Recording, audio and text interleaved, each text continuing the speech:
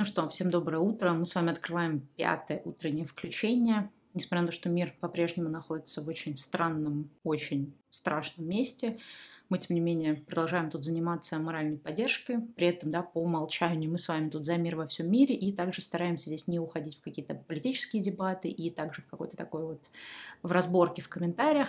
Не потому, что мы делаем вид, что этого нет, да, потому что мы знаем, что это есть, но здесь такое вот пространство, где мы стараемся также немножко про другие вещи говорить, как бы это цинично не было бы. Вот, я еще немножко почитала ваших комментариев, как к старым постам, так и к последнему, точнее, постам видео, да, к последнему. Большое спасибо всем за поддержку, спасибо тем, кто откомментировал, например, про то видео, про как ответ беременной девушки, и также я видела ответ от автора комментария про диссертацию. Спасибо, я рада, что вы не только задали вопрос, но и смогли, да, какой-то ответ для себя получить. Вот, продолжаем отвечать на вопросы. Сегодня посмотрю те вопросы, которые приходили под комментариями, но напомню, если вы хотите точно, чтобы ваш вопрос и ответ на него прозвучал, то лучше оставить это в форме, которая под каждым видео. Вот, и тогда мы его рассмотрим. Единственное, что скажу, что в ту форму несколько прилетело вопросов, э, где попросили да, прокомментировать как-то мою позицию, мои взгляды на ту или иную ситуацию. То есть если это вопрос исключительно, да, то есть не моральная поддержка, а исключительно политических обсуждений, я, к сожалению, не смогу на него ответить э, вот в этих видео, так как я вам пообещала держаться от этих тем, да, и если в каких-то других вопросах я хотя бы могу как-то обходить, то, конечно же, отвечая на вопросы про мою позицию, я это обойти не смогу никак. Вот поэтому надеюсь на ваше понимание, что эти вопросы не смогу рассмотреть. Если вы вдруг захотите переформулировать этот вопрос и, допустим, как-то спросить так, чтобы это касалось лично вас, а не да, общих каких-то мировых политических вопросов, то я с удовольствием его... Ну, если пришлете другой вопрос, я с удовольствием его тогда озвучу. Ну, давайте пойдем по вопросам. Знаете, вопрос, который э, больше всего меня э, как-то обратил на меня внимание, э, мне кажется, он даже не вчера, пару дней назад пришел, про то, что э, очень страшно, да, в этой ситуации не скатываться в панику на тему того, что там будет железный занавес, а вдруг мировая война, а вдруг ядерная война и так далее. И здесь э, мне кажется, что отчасти, да, возможно, я уже отвечала в предыдущих видео, но хочу отдельно к автору этого вопроса обратиться. Вот э, мне кажется, что старайтесь найти все какие-то силы, не уходить совсем в такие вот э, страшные прогнозы, да, это с точки зрения психологии это обычно называется катастрофическое мышление, мышление, точнее, вот, то есть это некий такое э, свойство ума и либо некая такая привычка нашего разума, да, в первую очередь замечать какие-то такие вот, э, ну, вот страшные тенденции и раскручивать их до не, неопределенных размеров. Вот, э, мне кажется, очень это опасное свойство ума, да, или особая привычка. От нее ну, нельзя сказать, что, ой, не думайте так просто, да, я вам не говорю, что типа, ой, знаете, как иногда бывают люди такие, просто не думай об этом, просто проигнорируй. Это не работает. Нельзя просто не думать о чем-то, что тебя тревожит. Но первый шаг, который можно уже делать, а, можно задавать себе вопрос и замечать это, и проговаривать то, что с вами происходит. Опять же, если вы хотите да, какое-то такое психологическое упражнение сделать, то обычно очень сильно на первых этапах помогает хотя бы замечать. То есть вы, например, начинаете об этом думать, и вы пытаетесь как будто бы э, встать рядом с собой, посмотреть на себя и свой мыслительный процесс и сказать себе, «М, интересно, я сейчас э, строю какие-то очень страшный сценарий. М-м, интересно, да, и просто за этим понаблюдать. Это первое, что нужно делать, просто замечать. Это замечать в моменте или замечать, допустим, когда проходит какое-то время. Второе, что обычно в таких ситуациях помогает, то есть если это не единичная ситуация, если вы, например, знаете про себя, что вы тот человек, который в разных других э, предыдущих жизненных ситуациях тоже да, был склонен прогностицировать, не знаю, есть такое слово, прогностицировать, наверное, нет, э, прогнозировать, да, самые какие-то страшные исходы, то на самом деле э, имеет смысл как бы обратиться к психологии, либо к психологу, да, если есть такая возможность, либо посмотреть на YouTube какие-то видео, какие-то, может быть, там каналы психологов, которые на эту тему э, что-то говорят, да, можно там поискать, я не знаю, нам сейчас сложно сказать, да, на какие темы в первую очередь вы найдете больше материалов, но что-нибудь про ну, вот это вот катастрофическое мышление. А, там можно поискать, наверное, какие-то видео, да, тем, как не поддаваться панике, что делать с тревогой, со страхом, там какие-то вещи типа страха смерти, это, да, тоже, наверное, из-за этого. То есть поискать какой-то материал э, и попробовать какую-то самопомощь себе оказать. Может быть, какие-то методики там, да, есть, то есть, например, какие-то упражнения. И не относитесь к этому серьезно. То есть не думайте, что, ой, ну какое-то дурацкое упражнение, оно мне никак не поможет. На самом деле, Э, то, что вы э, да, ну, склонны в эту панику впадать, это просто, как я уже сказала, свойство ума, тогда с этим бывает сложнее чуть бороться, и дольше времени нужно, да, на то, чтобы это свойство ума как-то перестроить. Ну, не перестроить, а попробовать э, найти другой способ смотреть на вещи. А второе – это просто привычка, да, то есть как-то вот так получилось, что у вас заложилась эта привычка, и ее можно как да, привычку можно как приобрести, так можно ее перестроить на какую-то другую привычку. Опыт вообще работы с привычками говорит мне о том, что нельзя отказаться от какой-то привычки, но можно ее заместить на что-то еще. И вот в вашем случае, да, вам нужно либо с помощью специально обычного человека, либо с помощью самотерапии, да, то есть поизучать эту тему для себя и попробовать понять, э, как вообще вы можете это, с этой привычкой работать. Я понимаю, сейчас это звучит максимально цинично, кажется, что нет, это, это не привычка, что ты такое говоришь, Стелла. Это просто, да, там, это не свойство ума, это просто вот я но это же, это же реальный объективный страх. Это действительно для вас сейчас э, воспринимается вашим, да, вашим сознанием как объективный, рациональный страх, но э, единственный способ освободиться от этого страха – это пытаться искать инструменты, которые вам помогут этот страх э, да, как-то вот разворачивать, поворачивать той стороной, которая будет не очень страшной. Наверное, сейчас я как-то максимально странно сказала это, но это на самом деле очень важно. И я вообще, вообще всем сказать, да, кто сейчас это смотрит, если вы испытываете такие страхи, не, так сказать, не дискредитируйте их, то есть не говорите себе, ой, что это какую-то я боюсь ерунду, да, или ой, я этого боюсь, и все, короче, и не знаю, что с этим делать. Если у вас есть в вашем окружении какой-то, э, то, что да, называется поддерживающее окружение, есть какой-то человек, который не критикующий, не обесценивающего, то есть вы можете с кем-то поговорить, не держите это в себе, попробуйте поговорить, да, может быть, если вы понимаете, что вы не уверены, как ваш там близкий отреагирует, э, может быть, скажите ему, вот у меня есть вот такой-то вот страх, э, я хочу с тобой там на тему поговорить. Ну, здесь нужно, единственное, что надо выбирать людей, то есть э, если вы выберете, допустим, человека, который скажет, типа, да, это все ерунда, знаете, как вот есть такой тип подходов, что типа, просто не парься, да, просто не думай об этом, ну, что ты в такой ерунде думаешь, то есть вот это как бы опасно, да, то есть здесь нельзя это обесценивать, но с этим надо что-то делать. Иногда помогает работать с этим, да. Главное, как бы не находить, э, как сказать, группу людей, которые тоже находятся в этом э, таком, ну, вот состоянии э, поглощенного вот этой тревогой, и не уходить совсем. Ну, как бы, то есть, то есть через них, да, не питаться еще больше этим. То есть здесь как бы важно выбрать человека, который может быть способен вас выслушать, но при этом, да, он как бы не испытывает таких же страхов. Ну, вообще, с точки зрения, ну, как бы психологии, работы, все вот, знаете, мне кажется, то ли в подкасте, то ли на канале тоже упоминала такую книгу, которая называется «Mindfulness», и там э, всякое, там все, что связано с темой mindfulness, да, то есть это осознанность, там были всякие э, техники, связанные там с, и объяснено, почему работает медитация, то есть работает не в смысле с эзотерической точки зрения, а работает с точки зрения э, научной, практической, да, то есть когда людей подключают там их к аппаратам и смотрят, как меняется у них разные, да, там эти показатели тела, и видно, да, что действительно во время медитации у человека происходят какие-то в мозгу и в теле процессы, которые на вот физиологическом уровне показывают, что это ему помогает. Я э, с одной стороны, в свое время, да, там и, и випассану проходила, и медитировать пробовала. У меня медитация не прижилась как такая вот э, регулярная, да, история. То есть я не из тех людей, кто там, каждый день медитирует, и не собираюсь, да, этого делать. Но в разные периоды жизни, когда у меня была очень высокий, э, высокая степень тревожности я делала разные медитации. То есть я делала эти медитации под э, руководством, да, голосовые.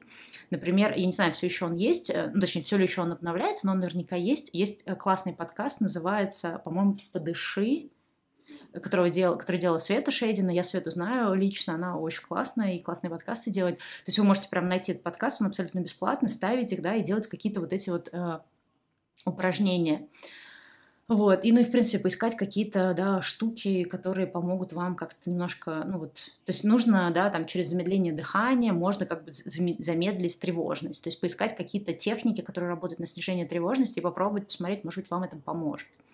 Вот. Главное, как я сказала, не дискредитируйте этот страх, но и не отдавайтесь ему, да, то есть не не отдавайтесь ему в, как бы, в полное управление, потому что э, если ну, не начать в какой-то момент пробовать, да, как-то вот э, этот страх не знаю, ну, как останавливает, я не знаю, может, это не совсем корректное слово, но, короче, если ничего не, с ним не делать, да, лучше тоже не станет. То есть вы можете сейчас уже начать что-то пытаться с этим страхом делать, но его, в любом случае желаю вам какой-то такой поддержки моральной, потому что это вполне валидный страх, он реальный, я говорила про него в прошлом, да, выпуске, в четвертом.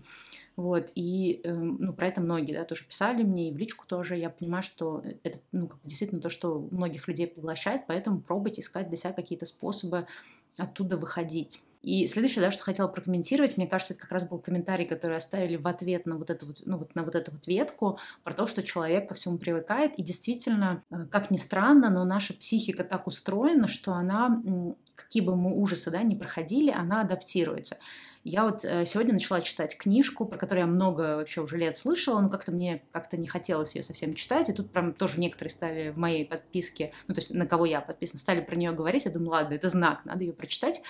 Книга э, Виктора Франкла, называется она, по-моему, «Скажи жизни да». Это история э, психолога, психотерапевта, психиатра, я сейчас не помню, по-моему, все-таки психотерапевт, э, который прошел концлагеря. И он как раз рассказывал, вот вообще, в принципе, после этого, да, его вся психологическая практика как раз была построена на поиске смысла жизни, на том, чтобы, ну, как бы не сдаваться ни в какой ситуации и так далее. И вот э, Книга мрачная. Естественно, я не могу вам сейчас сказать, идите читайте эту книгу. Она довольно-таки мрачная, потому что она... Там нет каких-то прям таких жестких описаний, прям, знаете, в деталях каких-то жестей, но при этом там, естественно, рассказывается про его э, жизнь в Аушвице. И э, очень как бы он, э, ну вот этой книгой хотел показать, что несмотря на все какие-то жести, э, все равно человек как-то с этим справляется.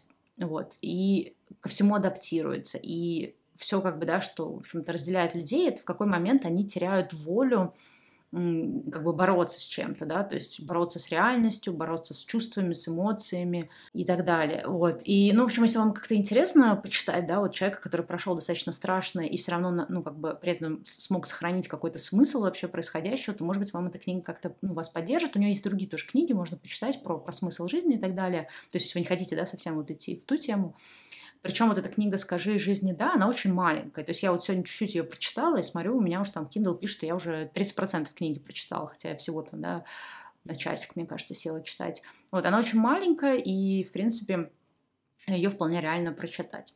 Вот. Э, может быть, имеет смысл, да, и как-то заодно отвлечься. То есть, вроде такая мрачная тема, но, с другой стороны, э, смысл вообще этой книги очень такой прикольный.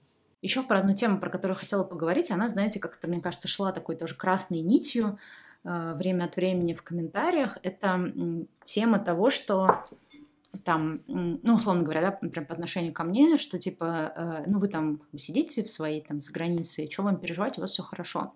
И я сейчас не о себе буду говорить, и я э, много, да, вот с этим сталкивалась, что особенно в последние несколько недель вот этого всего ада, да, ну, последние две недели, очень э, легко было скатиться в то, чтобы начать сравнивать свою ситуацию с чужой. Причем э, мы все, опять же, да, понимаем, как бы, что вот я в прошлом в позапрошлом выпуске говорила, да, что есть, вот, по-моему, позапрошлом, что есть как бы люди, которые в абсолютной жопе, да, это люди, у которых есть реальный э, риск, да, жизни, люди, которые потеряли дома, которым приходилось стать беженцами. Ну, как бы есть люди вроде как, да, со вторичными проблемами, это люди, которые живут в России, это люди, там, какие-то русские за границей, это какие-то еще другие люди. То есть так или иначе всех, да, это по-разному коснется. Вот, и у кого-то там планы разрушились, у кого-то финансовые уже начались потери, у кого-то они только предстоят. Ну, то есть все по-разному. И очень легко нашей психике, это как бы не делает из нас, наверное, каких-то плохих людей, но очень легко нашей психике э, оправдывать жалость к себе и при этом дискредитировать проблемы других людей, да, то есть думать, например, ну, вот тот-то человек там-то, ему легче. Ну, этот человек, вот у него не то-то, а то-то, ему легче. И несмотря на то, что э, в обычной жизни, да, ну, вот как бы если абстрагироваться от текущей ситуации, в обычной жизни, в общем-то, неплохо замечать привилегии, да, неплохо замечать, что там, конечно, человек, у которого, например, э, там, не знаю, квартира в собственности, дача, машина, не знаю, э, хороший, там, успешный, там, работа, бизнес, много денег на на накопительных счетах, конечно же, по определению этому человеку легче справляться с какой-то ситуацией, чем человеку, который, например, там, не знаю, какая-нибудь одинокая мать, у нее там двое детей, и она, в общем, еле успевает с работы на работу и прокормить, и, в общем, ну, как бы, да, очень, как бы, себя чувствует финансово и эмоционально не очень хорошо. Понятно, что, ну, как бы, с точки зрения, там, элементарных, да, экономического, э, не знаю, экономической справедливости, да, естественно, как бы эти люди находятся в разных абсолютно ситуациях, и действительно можно сказать, что, ну, объективно вот эта ситуация лучше, чем другая. Здесь я не про это говорю, я говорю про то, что э, применительно к нам самим, когда мы уходим э, в размышление, что я сейчас в плохой ситуации, а кто-то в другой э, в хорош, и я ему буду об этом говорить, и я его буду обвинять, или я буду считать, что вот у всех других лучше, а у меня хуже, нам это не играет никакой пользы. Это на самом деле заставляет нас немножко как бы снять ответственность за свою ситуацию и ну, как сказать, сложить, э, сложить как бы, да, руки, то есть э, когда мы думаем о себе, о том, что так, я э, в жопской ситуации, мне надо сейчас действовать, да, это один подход, то есть мы начинаем мобилизовать какие-то ресурсы и делать то, что мы, да, уже какой выпуск говорим, лучшее из возможного. Это одна, э, один вариант. А когда мы говорим о том, что ну вот если бы я был бы на месте другого человека, ну вот тому-то человеку лучше, вот ему-то, конечно, он там так-то и так-то, то э, может быть, действительно тому человеку лучше, но если мы фокусируемся очень много на этом, мы в этот момент как бы снимаем с себя ответственность за то, чтобы вот именно мобилизовываться и действовать. То есть это вот такое вот, мне кажется, такие мысли в голове, они нас немного, ну, как бы, как сказать, они еще хуже делают картину, которая, ну, происходит с нами, чем она, не то чтобы, то есть я не хочу дискредитировать ничьи, да, проблемы, поймите меня правильно, я просто хочу сказать, что когда мы начинаем очень фиксироваться на том, что у всех все лучше, чем у меня, то э, наша, нам же самим наша ситуация кажется еще более мрачной, а, и в какой-то момент она нам покажется настолько мрачной, нам просто не, ну, как бы нам не захочется как-то мобилизовываться. Поэтому э, мне кажется, сейчас очень важно себя останавливать. То есть я не про то, что там кто-то мне пишет такие комментарии, как бы если вы ну, чувствуете, ну пишите их, окей. Если они не будут какими-то супер оскорбительными, я даже не буду их, наверное, удалять. Но просто подумайте в данный момент о себе, от того, что э, ну, там несколько было злобных комментариев, я их удалила, ну, там, знаете, комментарии в духе того, что ты там сидишь в своей Америке, да тебе на нас насрать, тебе на Россию насрать, сидишь там э, свои эти видосики пилишь.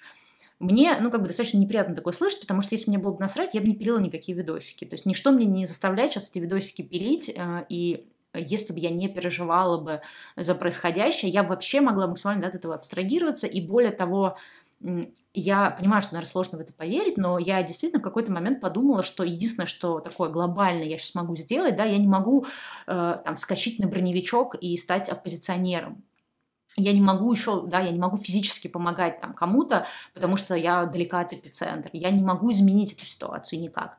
Но я могу, вот как э, блогер, да, и как человек э, очень много увлекающийся психологией, прошедший, да, много терапии личной и так далее и тому подобное, я могу попробовать как-то людей поддерживать. Вот как могу, так это и делаю. Да? Ну, кому-то это помогает, э, может быть, много людей, может быть, это очень мало людей, которым это помогает. Ну, судя по комментариям, такие люди есть. И это вот то мало, что я могу делать, и я это делаю.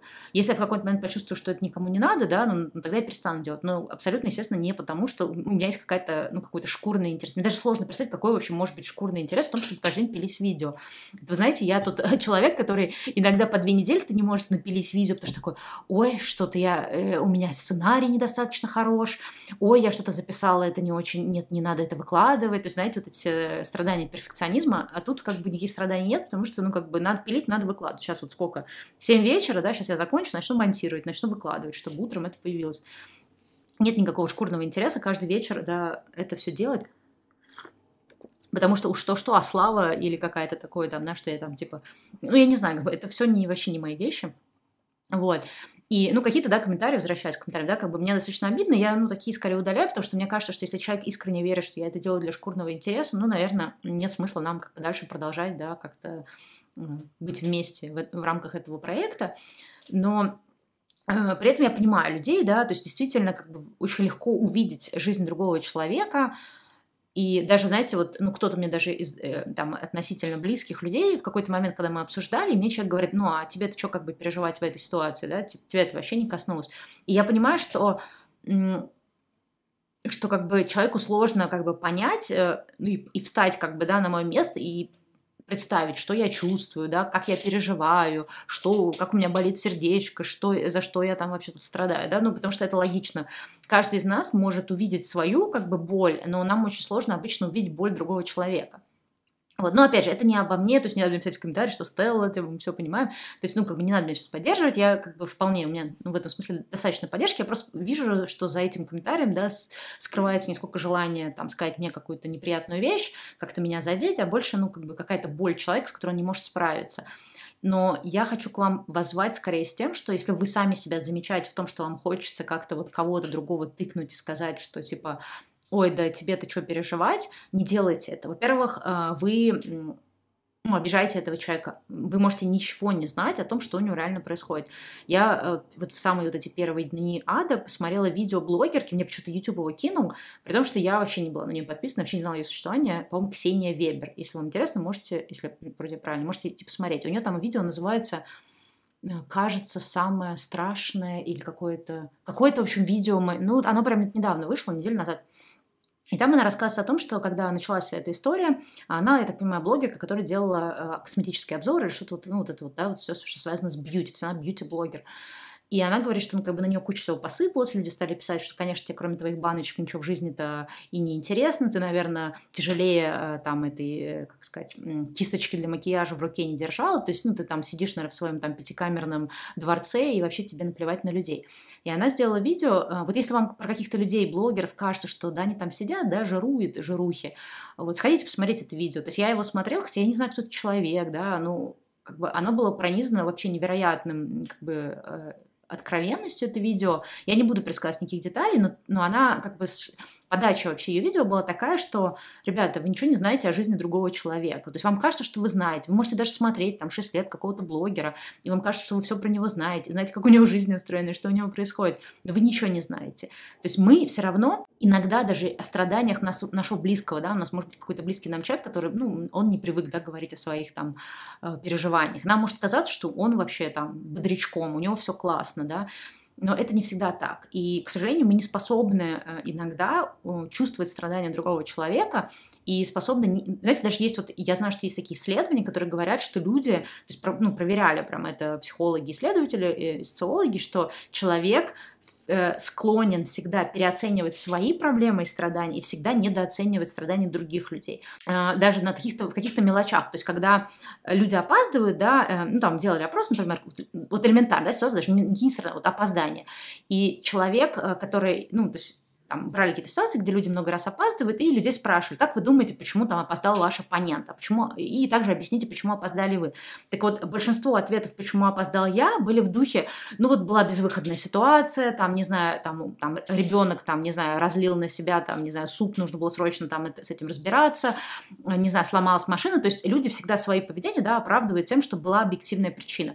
Но на вопрос, а почему, например, опаздывает э, оппонент, большинство ответов было про то, что потому что он э, несерьезный, не может собраться, не может прийти вовремя. То есть даже в такой мелкой ситуации мы склонны себя оправдывать, а другого человека ругать, да, это такое когнитивное искажение. Поэтому это очень важно в себе отслеживать и не совершать этой ошибки. Потому что как минимум вы можете обидеть человека просто, то есть когда мне знакомый, да, сказал, что ну, а тебе это что переживать, ты там, ну, тебе вообще как бы, то есть тебя это вообще не коснулось. Мне было очень обидно. Ты, говорила о том, что явно между нами нет какого-то контакта, где человек даже на секунду может э, подумать о том, какой деятельностью я занимаюсь, и может ли это коснуться или нет. И более того, у него, ему даже не пришло в голову спросить, он, спросить, да, слушай, а я что-то думала, что, наверное, тебя это никак не коснется, ну, скажи, а что, а как тебя это коснулось? То есть человек даже не поинтересовался, он просто сделал вывод. И это очень важно, э, если вы хотите вообще с людьми сохранить отношения, да, не начинать вот как бы мериться, да, у кого, у кого беда хуже. Это такое мое следующее к вам послание. Еще один вопрос, тоже, мне кажется, вообще дико сложно. Пришел в комментариях, сейчас я вам зачитаю. Так, Стелла, привет. Э, я из Украины и застала начало войны во время зимовки в другой стране. Э, помогите мне разобраться со сложным клубком эмоций. У меня чувство вины и синдром выжившего, потому что я сейчас не в своей стране и не помогаю соотечественникам. Но в то же время у меня нет никакого эмоционального ресурса помогать, могу просто лежать в кровати целый день. С другой стороны, я понимаю, что, наверное, это нормальное желание быть в безопасности. С третьей стороны, я встретила здесь свою любовь, и мне так тяжело дать себе право быть счастливой, пока мои друзья э, спят в подвалах. Как со всем этим разобраться? Ой, это, мне кажется, вообще прям ситуация, конечно, очень сложная, и у меня нет, естественно, какого-то такого прям какого-то, знаете, такого легкого, быстрого ответа, но что у нас здесь есть? Давайте разберем. Первое, у нас э, есть вот это э, чувство вины, да, за то, что вы не оказались э, там, где основная беда э, встретила ваших там, друзей и родственников. Второе – это чувство вины, что вы не можете им помочь, да, как бы физически. Третье – это чувство вины, что, с одной стороны, вы рады, что вы оказались в безопасности, но э, эта радость не может да, быть полной, потому что это все поглощается чувством вины.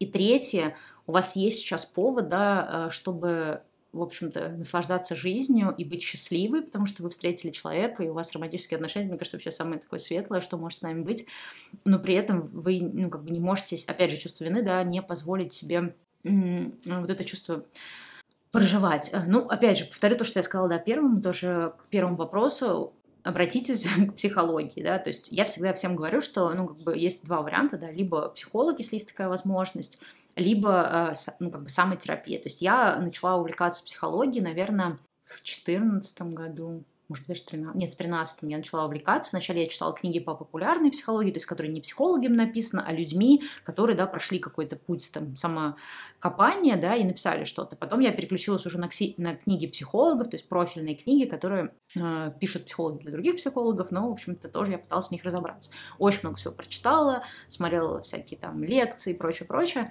Это, конечно, не быстрый вообще процесс, но определенная э, помощь мне самотерапия оказала. Не для всех это работает, иногда людям очень сложно, ну, то есть им они видят, читают, да, это, но очень сложно продраться все равно сквозь это. Но в какой-то момент я все равно пошла в терапию, потому что я поняла, что какой-то пласт работы я проделала, а потом я начала ходить просто по кругу. То есть я вплоть до того, что я как бы умом понимаю, да, что вот я чувствую такое-то чувство, мне его, по идее, чувствовать не надо, но как, как его не чувствовать, я не знаю. И я с этим пошла. То есть, когда я почувствовала, что как бы сама я, ну, как бы дальше не двигаюсь никак. Поэтому я каждый раз говорю, да, здесь тоже либо там, психолог, либо сам, самопомощь.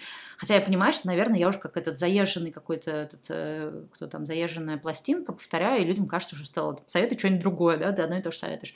Но вот мне в моей жизни с какими-то такими штуками помогало вот именно это справляться. Вот. Это это как бы один, да, совет. Если есть такая возможность, не пренебрегайте ей. Вот мне кажется, сейчас то время, если вы планировали, если у вас была финансовая возможность сходить к психологу, но вы все время это откладывали, сходите.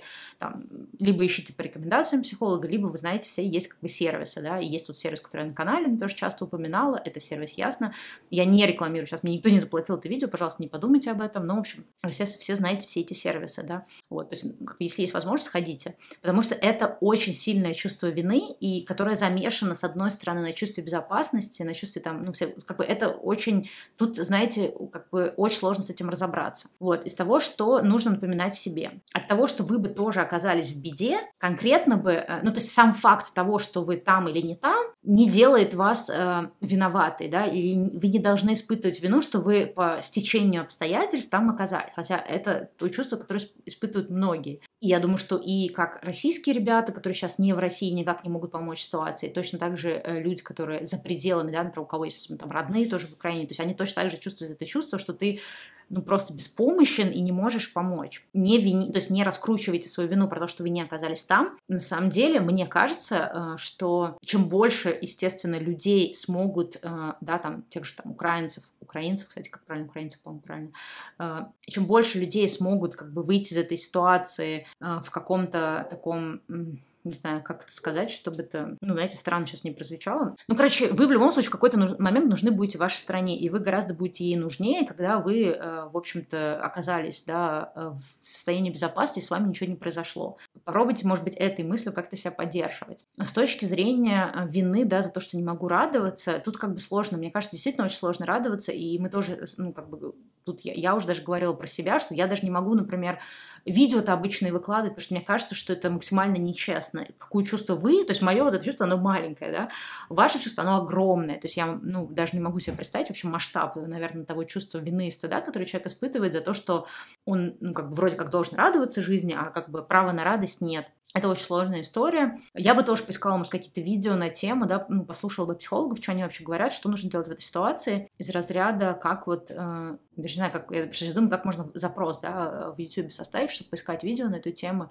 Ну, в любом случае, про чувство вины однозначно посмотреть э, те материалы, которые есть на YouTube, то есть прямо вот ищите, да, чувство вины и смотрите разные там, может быть, чувство вины за свое счастье, за собственное счастье, боюсь э, быть счастливой. Ну, хочется, знаете, Проблема вот этих запросов, что можно как бы выпасть на YouTube на очень стрёмных психологов, которые, ну, как бы, честно говоря, скорее шарлатаны, чем психологи.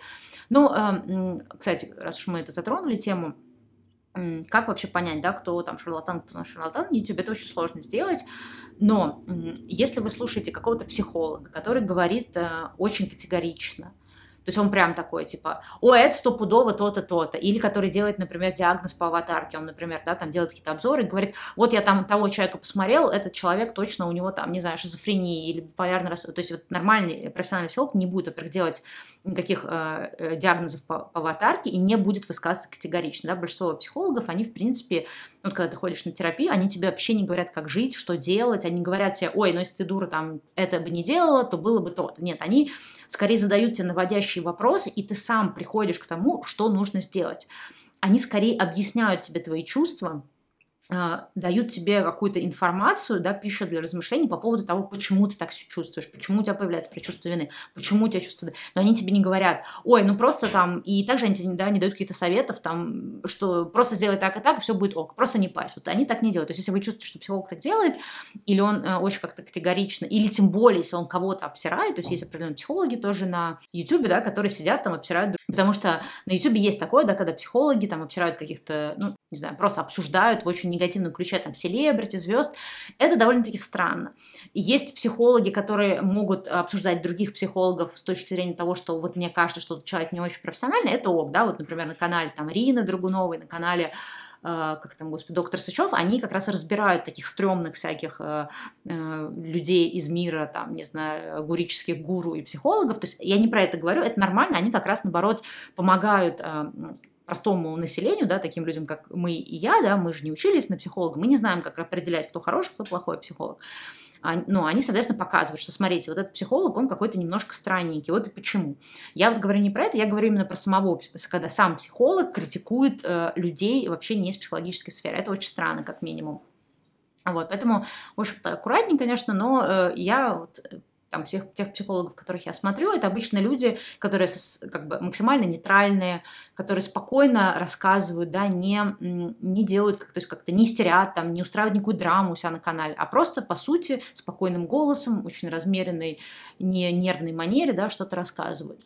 Вот, э, то есть, ну, как-то ищите таких, конечно, поэтому тоже, ну, и лучше, вот мой совет тоже не смотреть одного какого-то конкретного психолога, а прямо искать, смотреть разных, находить тех, кто у вас заходит, но желательно смотреть не одного, потому что, ну, во-первых, у всех разные школы, во-вторых, чтобы случайно, да, себя обезопасить, а, как бы, да, от, э, ну, от разных странных мнений. Да, как знаете, говорят, что в чем вообще суть э, свободы слова и демократии, к вопросу о, когда ты, у тебя есть возможность послушать разных людей, и поскольку разные люди говорят разное, у тебя есть возможность составить э, какое-то ну, усредненное мнение.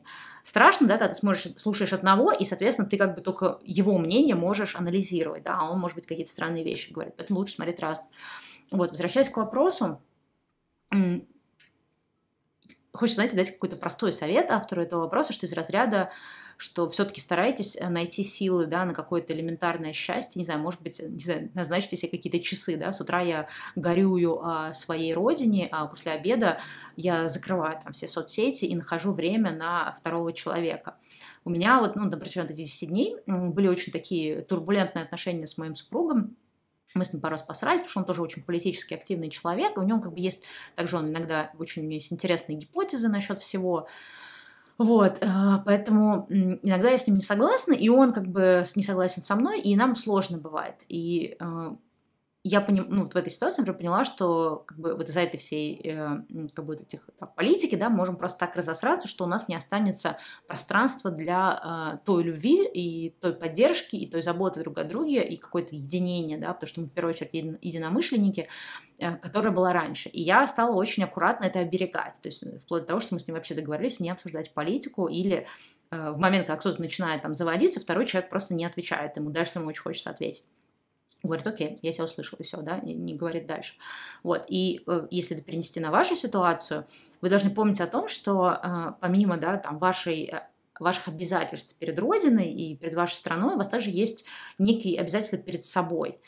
И если вы сейчас разрушите те отношения, которые у вас есть, да, вот эти вот э, с вторым человеком, да, то, что та любовь, те романтические отношения, которые у вас сейчас складываются, если вы их разрушите, стране это никак не поможет, но обязательства перед собой вы не сдержите, да, то есть вы себе испортите, то есть вряд ли э, да, в какой-то среднесрочной перспективе вам будет легче, если вы будете одна. Вам будет гораздо легче, если у вас все еще будет второй человек, и он вас будет поддерживать. Но для того, чтобы этот человек остался и вас поддерживал, вам нужно сейчас находить силы, да, ну, то есть отдавать тоже что-то этому человеку быть с ним. Понятно, что вы можете сейчас поговорить с ним, сказать, что вот я сейчас в такой вот эмоциональной как бы жопе, да, в таком эмоциональном дне, где у меня нет сил много э, отдавать тебе там любви и поддержки, вот, э, пойми меня, да, пойми меня правильно, вот, поэтому мне сейчас нужна твоя поддержка, но тем не менее все равно говорите ему, что вы его любите, говорите ему, что, ну, то есть вот у нас как с мужем разговор происходит, я говорю, сори, говорю, что я все время как бы супер там тревожная и супер как бы нервная, ну, ты понимаешь, что я нервная и тревожная, потому что я переживаю за то, что происходит, к себе это не имеет никакого отношения. И также я его благодарю за то, что он меня поддерживает, за то, что он там первые, там, особенно пять дней, я была вообще просто в очень странной прострации, он там притаскивал мне в комнату еду, и я там просто сидела вот у компьютера, вот это вот все эти новости, там что-то как-то пыталась еще поесть, там какой-то чай делала, еще что-то. То есть э, просите о поддержке и все равно, ну, как бы, то есть не воспринимайте, э, если он, например, вам дает эту поддержку, да, как должное. Не забывайте находить все силы, да, благодарить человека за это, потому что ваши обязательства перед э, вами будущее, да, перед своим будущим, перед самой собой спустя сколько-то лет, это то, чтобы вы не э, сейчас э, в порыве, да, вот этого горя, которое вы испытываете, не поругались с тем человеком, который вообще никакого к этому отношения не имеет. Это, мне кажется, очень и очень важно. Вот. И последний вопрос, который я сегодня разберу, такой достаточно сложный. Кстати, там некоторые мне еще присылали вопросы, совсем не относящиеся к теме, типа, Стелла, расскажи про себя, там, свою личную жизнь. Я, наверное, сразу скажу, что я пока, ну, вот в режиме вот этих утренних включений, я пока прям совсем не готова, да, какие-то отвлеченные темы говорить. И также э, сразу скажу, что я не, не планирую освещать как-то свою личную жизнь в, на YouTube там, или каких еще блогах, по той простой причине, что мой муж — это человек, который не ведет никаких социальных сетей, не понимает вообще потребности людей выставлять себя на показ, ему просто это неинтересно. И он не, абсолютно не как бы интернет, как бы, да, персоналити, вот, поэтому я уважаю его как бы так скажем, ну, желание оставаться вне вообще вот всей этой интернет-публичности, и поэтому, естественно, я не могу его как-то там привлекать сюда, да, то есть какие-то видео из разряда «я и мой муж» здесь на этом канале не появятся, я думаю, никогда. Ну, все может измениться, вот, но, по крайней мере, пока у меня этот муж, этого не случится, вот, поэтому не потому, что я там как-то скрываю, ну и, в принципе, я, честно говоря, считаю, что одно дело, когда я вам откровенно рассказываю про себя и свои переживания, в этом есть какая-то ценность, а все-таки рассказывать про другого человека, мне кажется, это все-таки не совсем этично. Но давайте перейдем в этот очень непростой вопрос, который я заготовила. Вот, вопрос такой. Ужасно ругаюсь с родителями. Э, к тому же мы живем в одной квартире. Они полностью поддерживают, тра-та-та. Так, сейчас, чтобы весь вопрос не читать. Так, да да да да да Не знаю, что делать. Молчать, кричать, расколотить ящик, имеется в виду телевизор. Очень много эмоций, да. Не буду читать вопрос, да, чтобы, ну, как бы сейчас никто не нервничал. А, это очень сложно. Вы знаете, да, те, кто смотрит, кто посмотрел, да, все эти включения утренние, вы знаете, что у меня тоже какие-то достаточно турбулентные с мужем по одной теме турбулентность, с семьей по другой. Я уже говорила, да, о том, что с самого начала я выбрала такую позицию, что, с одной стороны, ну, естественно, мои родные знают о том, что у нас с ними различается позиция, с другой стороны, я выбрала не спорить с ними вообще. И кто-то из них пытался со мной спорить, кто-то просто забил на меня, да, то есть, ну, разные, в общем, у всех были стратегии. И э, также, слава богу, в моей семье нашелся человек, э, который, ну, с которым у меня, наверное, самая такая тесная связь из моих, да, вот, ну, как бы из моей широкой семьи, то есть из большого числа моих родственников, который сказал, что, как бы, да, твоя позиция мне не близка и непонятна, но я тебя люблю и ругаться, как бы, не хочу. И это меня очень сильно, на самом деле, поддержало, и, ну, как бы в этом смысле мне очень сильно повезло. И я как-то прям Хотя в какой-то момент я, честно говоря, думала, что мы вообще разостремся навсегда. Тут, конечно, усугубляется э, тем, что вы живете в одной квартире, про это сейчас дальше тоже скажу, но э, расскажу свою историю. Э, чем, как бы, да, моя история, э, точнее так, моя история в самом начале, мне казалось, что то есть, мы вот с родными просто вообще навсегда разосремся, то есть я так поняла, что там те, кто мне не написал, они, возможно, тоже со мной не согласны, и просто даже не готовы, да, со мной общаться, то есть, ну, как бы сложно даже понять вообще, что реально происходит. А, например, э, у меня был один из родственников, да, с которым, ну, как бы я знала, что, скорее всего, мы, наверное, не поругаемся по этой теме, ну, собственно, вот как бы этот мне человек и написал, но я боялась писать первый, потому что я боялась ну, как бы, что... То есть я боялась заранее, да, как-то приблизить этот скандал.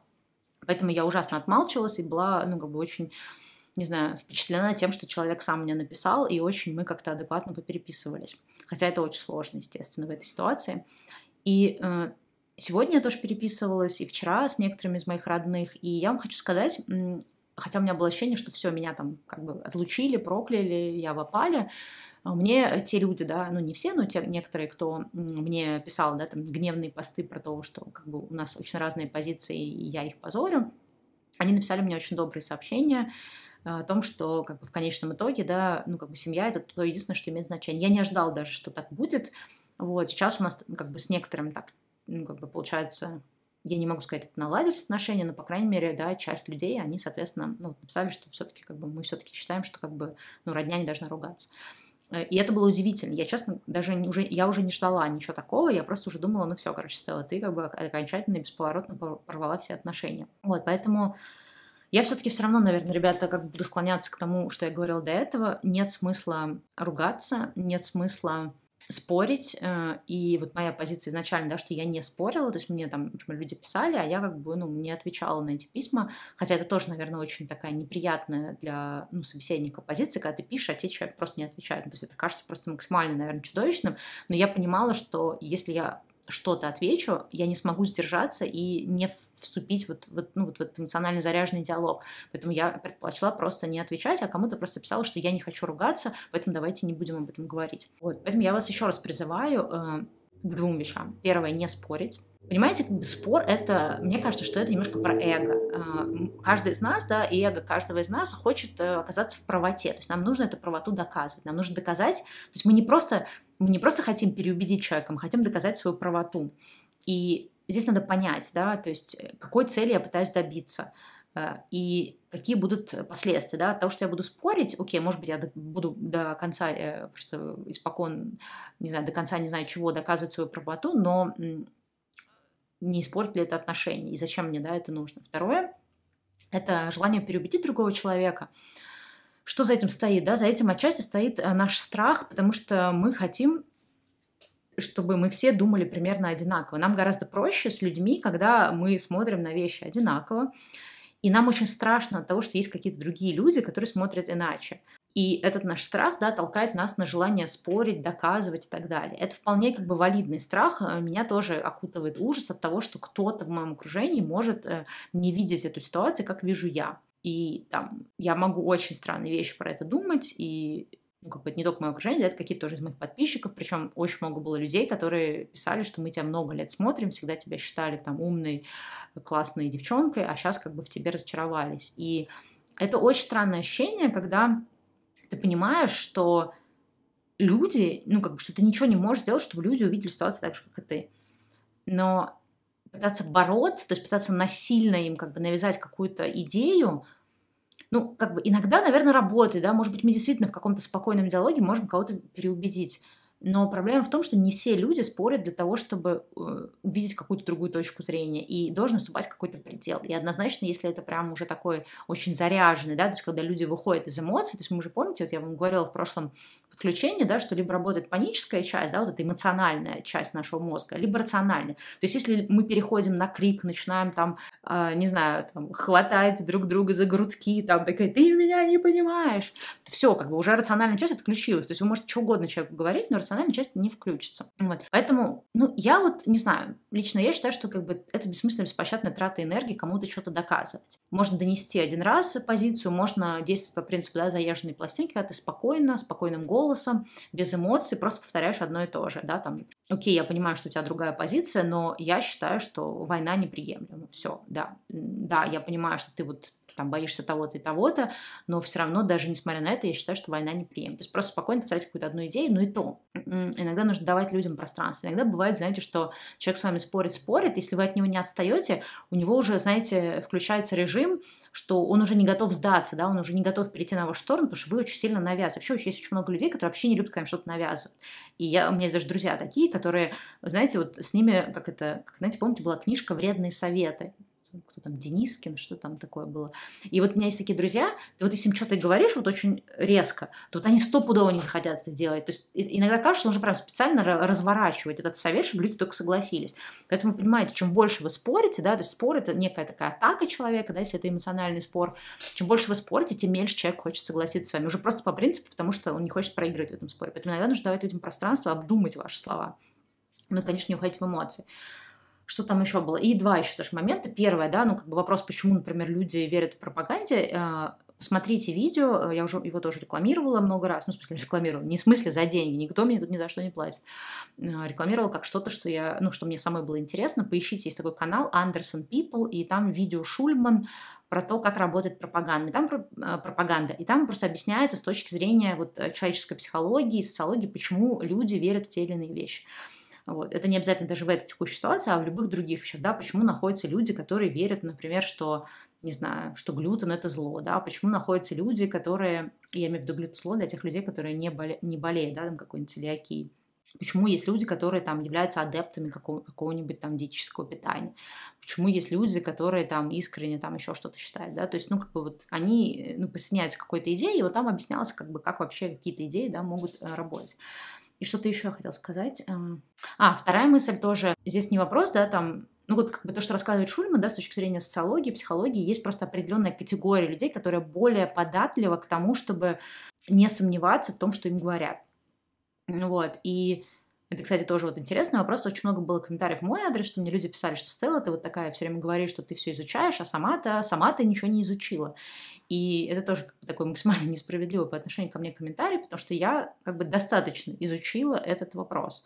Э, и самое главное, что я не боюсь оказаться неправой. То есть я отдаю себе отчет, что то, как я вижу ситуацию, э, я не могу на 100% быть уверена, что вот э, все мои какие-то взгляды на эту ситуацию, они стопроцентно корректны. Я уверена, что 80% того, как я вижу ситуацию, оно, скорее всего, все-таки, ну, как бы валидно, да, что не совсем как бы у меня там э, с головой не то. Но я отдаю себе отчет, что в каких-то отдельных, да, элементах я могу ошибаться, но я готова как бы, да, как сказать, готова ошибаться, и я допускаю вообще во всех вопросах, э, во всех как бы, своих каких-то взглядах, начиная там от экологии, заканчивая там взглядов, не знаю, на питание, на здоровье, на какие-то любые вообще вопросы, я тот человек, который э, всегда сомневается, а точно ли я уверена. И это, наверное, то, что меня как бы держит, да, что у меня нету ощущение, что я вообще гурический гуру, все знаю, да, я как раз многие вопросы ставлю под сомнение, ищу информацию, да, почему я сказала, что я информационно зависимый человек, что я очень много информации, на самом деле, через себя пропускаю перед тем, как какое-то решение принять. Вот, поэтому э, тут надо понимать, что есть люди, которые, во-первых, не очень любят работать с разносторонней информацией, э, есть люди, которые не очень подвергают сомнению то, что им говорят, есть люди, которые очень легко под, попадают в ловушку, что они думают, что они уверены, что они знают, что происходит, и поэтому у них нет потребности искать и так далее и тому подобное. Ну, в принципе, есть э, определенный тип, да, посмотреть это видео, оно очень классное. И также обещала, да, тоже затронуть вопрос. Мы живем в одной квартире. Ой, это очень сложно, да. А, тут как бы у меня есть два, наверное, послания к вам. Если вы подросток, да, и человек, который, например, ну, в силу возраста все еще зависит от родителей, то вам очень не повезло, я вам очень сочувствую, потому что это, наверное, самое такое сложное время, когда мы не можем финансово и в общем, как-то никак, да, физически сепарироваться от родителей. Вот, если вы уже взрослый человек, то есть, скажем, вам там больше 19 лет, и вы живете с родителями, Понятно, что этому могут быть разные соображения. Кто-то может быть ухаживать за родителями, кто-то может быть по финансовым соображениям, кто-то из какого-то удобства. Ну, то есть есть миллион причин, да. Я вас сейчас не осуждаю, но э, задумайтесь о том, не нужна ли вам какая-то э, физическая или эмоциональная сепарация от родителей, и тоже погуглите, если, например, э, вы как бы не потому, что вы там финансово да, вынуждены жить с родителями, а есть какая-то другая причина, то э, погуглите, на YouTube тоже очень много, у, психо, у психологов, да, очень много видео на тему сепарации от родителей. Это очень важный какой-то такой эмоциональный, как бы такой эмоциональный, даже не знаю, ментальный какой-то такой процесс, который нам тоже нужно пройти. И, может быть, эта ситуация вам показала, что а, если э, вы, вам сложно да, справляться с тем, что у ваших, вообще-то ваши родители это отдельно взятые люди, они имеют право на свое мнение. То есть так же, например, как ваш супруг, это отдельно взятый человек, и он тоже имеет право на мнение, отличное от вашего. Вам может это нравиться, не нравится, вы можете э, справляться с этим, можете не справляться, да, Мы, ну, в разных ситуациях будут разные как бы исходы но это отдельно взятый взрослый человек, он на это имеет право. И если это невыносимо для вас, что ну, вот есть какое-то расхождение взглядов, ну, возможно, э, не нужно жить вместе. Сейчас, наверное, это максимально цинично прозвучит, и кто-то мне сейчас скажет, что Стелла, какой-то вообще ужас проповедуешь. Но я, честно говоря, считаю, что, э, опять же, я говорю, да, если вы не подросток. Вот, если вы подросток, то нужно просто набраться сил и дождаться того периода, когда вы сможете уже официально от родителей э, как бы съехать. Но мне кажется, достаточно важно для взрослого человека жить своей отдельной жизнью. Понятно, ну, как я уже сказала, да, там финансовая ситуация, к сожалению, может диктовать свое. Но э, если есть такая возможность, нужно всеми силами искать способ э, съехать от родителей, и никто не мешает вам продолжить контакт, продолжить общение, помощь, поддержку и коммуникацию, но иногда лучше с какими-то людьми не жить под одной крышей, потому что это очень сложно. Потому что вы люди разных поколений, и И точно так же, как и вы, они тоже, ну, как бы у всех непримиримые взгляды. Вот, это очень сложное решение, оно сложно дается, но я знаю, что многие, ну, тоже с какого-то удобства живут. Например, я помню, когда я жила в Москве, меня очень поразил тот факт, я сама не москвичка, я из Питера, но меня очень поразил тот факт, что вот я приехала из Питера, да, работаю в Москве, снимаю квартиру с подружкой, ну, потому что как бы одной как бы дорого было снимать. При этом э, я, например, там у меня были какие-то отношения, да, при этом у меня куча бойфрендов, ну, в смысле, не куча, а, ну, как бы куча опыта с разными московскими бойфрендами, которые там им 35 лет, 30 лет, они все еще живут с родителями. И я говорю, ну, а зачем ты живешь с родителями? Вот. Ну, то есть, неужели тебе не хочется жить одному, там, не знаю, как-то, ну, какая-то свобода и так далее. Такое. Ну, как бы я это финансово не могу позволить. При этом это люди, которые работают на таких же вакансиях, как я, получают такие же деньги, как я. Ну, то есть понятно, что да, они экономят вот эти какие-то деньги, да, то есть я вот снимала с подругой квартиру но я не могла даже представить, то есть это же такая, ну, как бы такое вообще классное ощущение свободы и того, что ты, ну, ты самостоятельный, ты живешь свою жизнь, ты делаешь то, что хочешь, что тебе не надо там отчитываться, сколько ты придешь домой, ты наконец-то учишься готовить и стирать свою еду, и нет никакой там мамы, которая там, да, на тебя взрослого мальчика 30-летнего настирует тебе твои там штанишки. Для меня это было странно всегда, э, и я этого вообще не поняла. Я вообще человек, который любит очень свободу и независимость, мне прям совсем это было непонятно, но я, я к чему эту историю рассказываю? К тому, что э, вот этим парням, им часто казалось, что финансово они никак не могут потянуть жить отдельно. Ну, потому что как бы, а тут у меня своя комната, а там мне придется с кем-то снимать, а непонятная квартира, а тут у меня ремонтик, ну, дальше ремонтика нет. Но на самом деле это в голове, потому что э, те люди, да, с которыми я, например, встречалась, это были ребята, например, которые зарабатывали примерно столько же, как и я. И я никак не могла понять, как я и другие ребята, приезжие, да, которые приезжают в Москву, они как-то вот справляются финансово снимать квартиру, а, э, ребята-москвичи, да, выбирают ну, жить с родителями там до 35 лет. Опять же, нет ничего плохого в том, чтобы там быть с родителями в какой-то период времени, или, допустим, у вас там конкретные цели по накоплению, да, то есть вот вы специально переехали жить с родителями, например, на этот год, чтобы там накопить деньги, не знаю, там раздать кредит, куда-то уехать, не знаю, на, пойти на обучение платное, там, не знаю, вложить деньги куда-то, ну, то есть у вас был план. Это как, к этому вообще вопрос. Я говорю про тех людей, которые к 35 годам так и не нашли в себе э, как бы, да, силы мотивации съехать от родителей и пожить самостоятельной жизнью. Мне кажется, что людям очень важно жить самостоятельной жизнью. И мой опыт тоже, вот, ну, у меня всегда было большое какое-то окружение, большое количество друзей, когда я жила в Питере, в Москве, все-таки очень заметно, насколько самостоятельные, независимые и какие-то такие вот люди, да, которые, у которых э, ну, получалось возможность пожить отдельно от родителей. Вот, поэтому, возможно, это такой, знаете, как вот есть такая фраза wake up call, да, такой звоночек о том, что, возможно, ну, не сейчас, конечно, сейчас, наверное, я не знаю, какая у вас там финансовая ситуация, но, возможно, в какой-то среднесрочной перспективе имеет смысл об этом задуматься, да, чтобы сохранить отношения с родителями, да, а, а, потому что вот эти как бы, да, споры, это очень сложно. Но если вы сейчас не можете физически съехать, поймите одну простую вещь, что эти споры съедают вашу энергию. Вам ваша энергия а, еще понадобится. Я думаю, что в ближайшие там сколько-то там месяцев, да, непонятно, что нас ждет вообще, и, возможно, вам еще понадобятся силы моральной энергии и все остальное – вот, э, и нет смысла их сейчас тратить на споры, если вы видите, что уже эти споры не работают. Просто дайте право своим родителям иметь то мнение, которое у них есть, и отвечайте им э, на, ну, как бы на их там какие-то споры, да, отвечайте любовью. Не можете отвечать любовью, отмалчивайтесь. Появятся силы, отвечайте любовью. Это очень сложно, и я вообще не мастер, как бы вот тоже каких-то, знаешь, дим, знаете, дипломатических отношений, но это то, чему я вот в этом году, я поняла, что надо учиться этому. Сдерживать себя, сдерживать свое эго и не спорить. И какая-то еще у меня тоже была мысль на эту тему. Какая-то была мысль, но мысль ушла. Ну все, наверное, тогда это все. Вот, напоминаю, что если вы хотите прислать вопрос, э, чтобы я его разобрала, да, вопрос именно такой, где я могу какую-то моральную поддержку э, поговорить, да, на эту тему, не политическую, оставляйте вопрос по ссылке, потому что эти вопросы, да, мне как бы попадают, я их не пропущу. Вот, и также, кстати, спасибо всем тем, кто присоединился к поддержке этого канала. Это было прям неожиданно, я даже ничего такого не анонсировала, а некоторые из вас уже это сделали. Это очень приятно, потому что на самом деле это помогает мне, да, как-то, мне кажется, продолжать делать то, что я делаю, потому что благодаря этой поддержке, эти видео моральной поддержки утренней, как-то поддержки, поддержка, в общем, благодаря этой поддержке, да, утренние вот эти включения, они выходят. То есть можете себя прям, не знаю, похлопать по плечу в этом смысле, что вы по сути, таким образом также помогаете тем другим ребятам, которые могут прислать вопрос сюда, и я на него отвечу, и, возможно, кого-то это как-то поддержит, и вы, по сути, поучаствовали тоже в этой поддержке. Поэтому вам тоже огромное спасибо. Я очень и очень признательна. Ну что, мы с вами услышимся завтра. Надеюсь, что с утра мы все будем тут, и э, я буду вам что-то говорить, а вы мне будете задавать вопрос. Ну все, пока-пока.